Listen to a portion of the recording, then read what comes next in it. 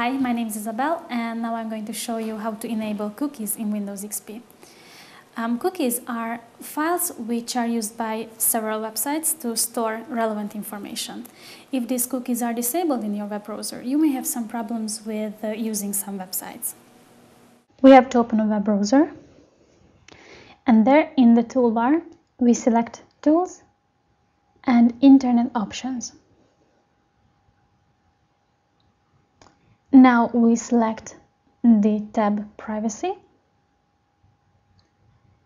And here you can see a scale with the help of which you can set whether to allow or block all the cookies or to allow some of them. You can see the lowest one is to accept all the cookies and the highest one is to block all of them. Now we will set it to low. It means it blocks third-party cookies that do not have a compact privacy policy. Okay, now we click on apply,